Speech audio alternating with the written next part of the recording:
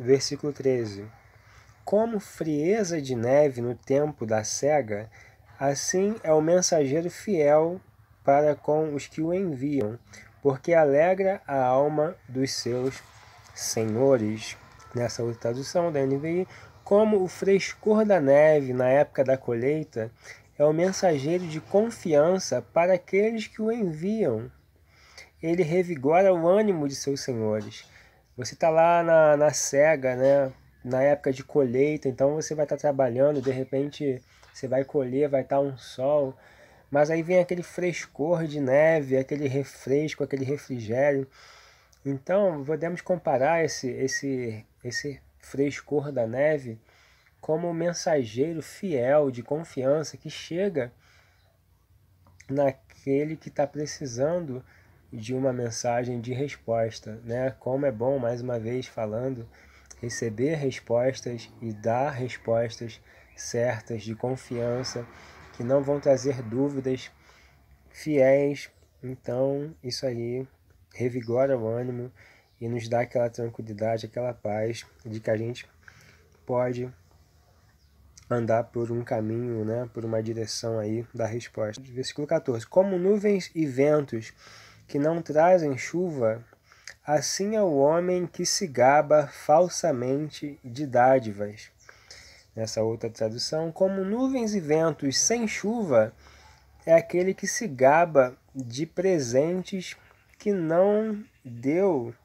Então, tem pessoas que se gabam falsamente de dádivas. Na verdade, é como se a pessoa falsamente se gabasse de um presente que ela deu para alguém, mas ela não deu o presente.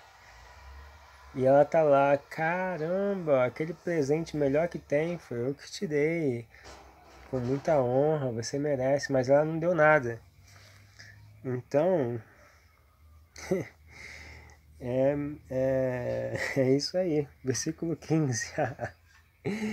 Pela longanimidade se persuade o príncipe, e a língua branda quebranta os ossos. Nessa tradução, com muita paciência pode-se convencer a autoridade, e a língua branda quebra até ossos. Então, você chegar de forma branda, com paciência para explicar a situação, o porquê que precisa, que há uma necessidade, caso não não seja intervir, não venha ninguém intervir ali, poderá acarretar em problemas, vai trazer umas consequências, não vai ser bacana, mas você conseguisse alguém para intervir, você então você com palavras brandas, suaves, delicadas, pacientes, calmas, você pode convencer até uma autoridade.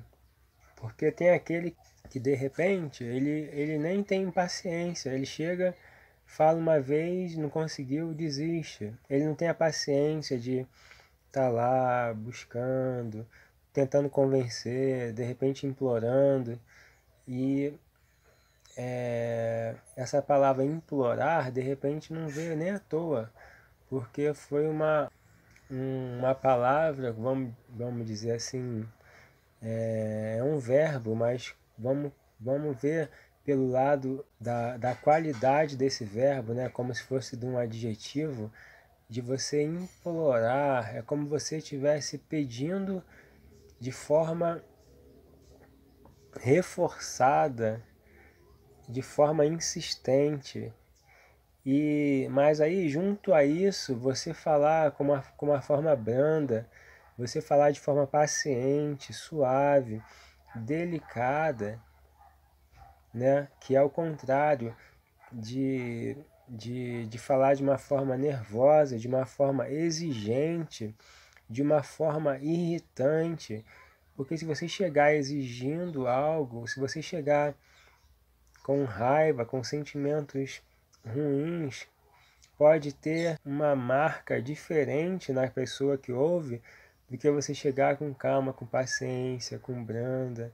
Olha, você poderia, você pode, de repente, talvez não consiga, mas, poxa, seria muito bacana se, se eu conseguisse. Olha só quanta coisa que ia mudar, que ia favorecer